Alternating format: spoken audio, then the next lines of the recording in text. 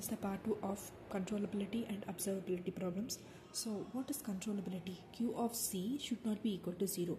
This is A and this is B. This is obtained from the part 1.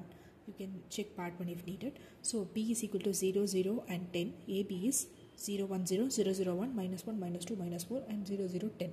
So when multiplying this we get the value as 0, 1 and minus 4. Now we have to find the A square B. So first we need to find the a square a into a and we are getting the output as 1, 0, 1, minus 1, minus 2, minus 4, 4, 7 and 14. So to find the a square b should be 1, 0, 1, minus 1, minus 2, minus 4, 4, 7, 14 into 0, 0 and 10.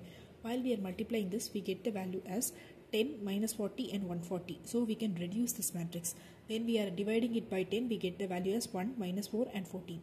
So what is Q of C? B AB and A square B. While we are substituting the B, AB and A square B and taking the modulus of this, we get the value as, so this will be 0, this will be 0 and only 1 remains. So 1 into 0 minus 10. So the answer will be minus 10. So modulus of QRC is minus 10 and it is not equal to 0. So the system is completely controllable. Regarding the rank, all the three rows and columns are independent. So the rank is 3.